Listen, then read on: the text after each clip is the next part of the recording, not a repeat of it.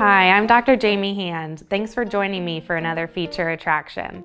If you like this video and want to see all of our hearing aid tips, tricks, and how-to videos, make sure to like and subscribe to our YouTube channel.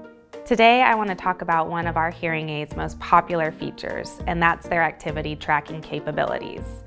For years, the broader health industry has been touting the benefits of walking 10,000 steps a day or exercising for 30 minutes a day. Study after study has shown the benefit of increased physical activity to decrease major health issues. With that in mind, we became the first hearing aid manufacturer to introduce sensors on board the hearing aids.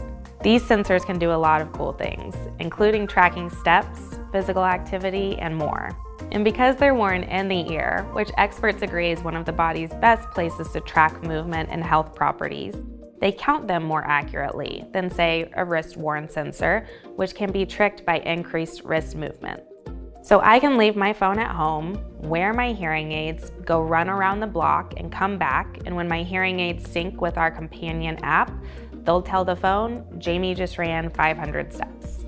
Through this companion app, I can easily track my daily activity, including walking, my standing, my running around the block, or other physical movement all with a device that is comfortable to wear all day long.